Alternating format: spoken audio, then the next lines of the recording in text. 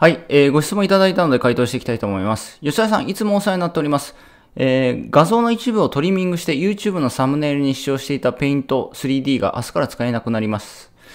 他のトリミング機能のあるツールを探していますが、良いツールが見つかりません。吉田さんが YouTube のサムネイルで使用するおすすめのトリミング機能ツールを教えてください。よろしくお願いします。ということで。まあ、僕はですね、トリミング機能っていうのは、トリミングっていうのは切り取りっていうことですかね。はい。まあ、切り取っ切り取るのは、この、えっ、とね、今やりますけども、すいません。Mac のこのデフォルトの切り取りをやってます。で、例えば、切り取りやります。で、ここ切り取りますね。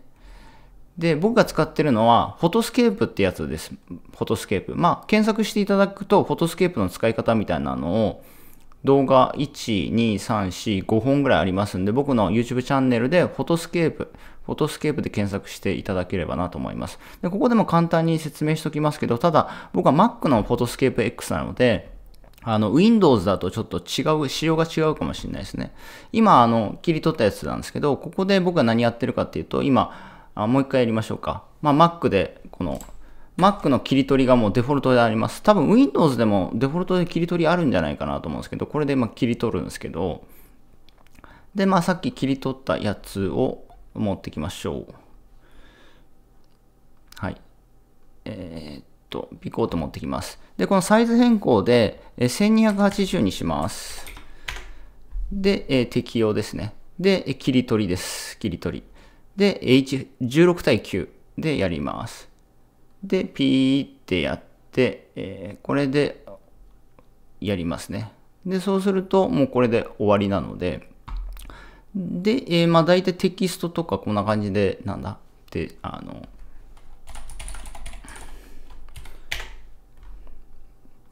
これね、Mac のやつだともう本当にこう簡単にこういけるんですよね。こう、こんな感じ簡単に。まあ Windows のフォトスケープはちょっとね、うん、ちょっと僕も使ったことあるんですけど微妙ですね。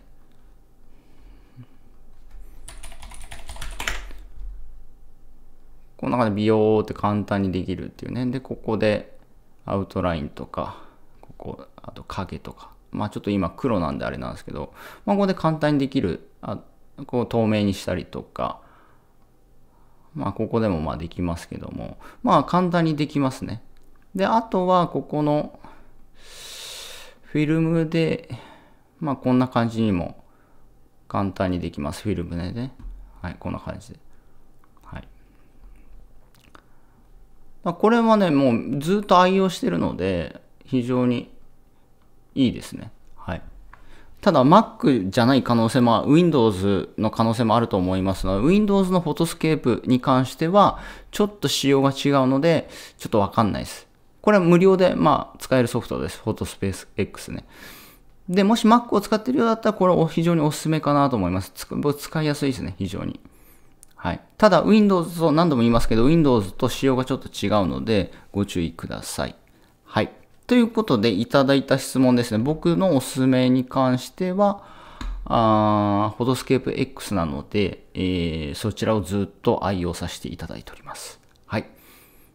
では、終わります。ご視聴ありがとうございました。